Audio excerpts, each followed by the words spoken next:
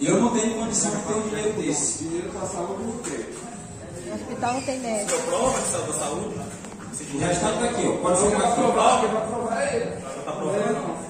Tá eu tenho certeza que ninguém tiraria do seu bolso quase 300 mil reais para dar para o vereador de oposição